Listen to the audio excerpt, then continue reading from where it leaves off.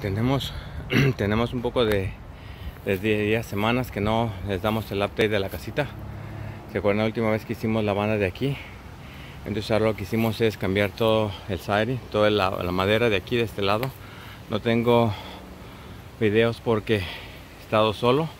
Pero bueno, es difícil para mí con el celular. No, todavía no tengo el triple el tripié para poder grabar. Pero esto es lo que se ha hecho para que vean el progreso ya es un ya está puesto. Y ya está este reclavado esa parte. También está esta sección de aquí atrás. Como ven es lo que ya está nada más para ponerle lo que es el siding. De este lado también. Entonces falta dos lados.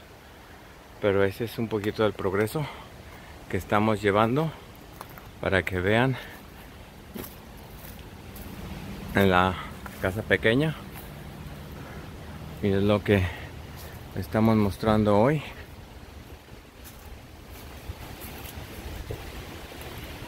Déjenme un poquito más para atrás. Eso está porque le hace falta el plástico arriba y ahí estamos. Entonces aquí les dejo con este adelanto. Y aquí atrás están se está tratando de llenar de emparejar esta sección. Antes estaba muy de bajada ahora ya está más parejo. Pero bueno es lo que estamos haciendo ahorita para poder este sembrar en un tiempo no muy lejano entonces estamos rellenando esta sección. Y de aquí se va a ir para allá todavía. Y se va para allá. Pero bueno para que vean. Este es un adelanto.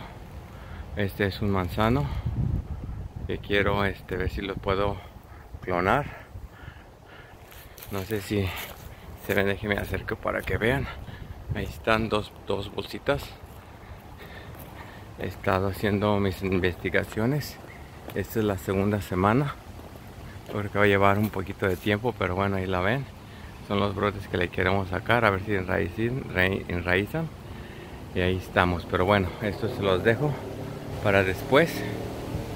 Y hasta aquí está la actualización de cómo vamos en el progreso para la granja. Y nos vemos hasta la próxima. Muchas gracias y seguimos en contacto.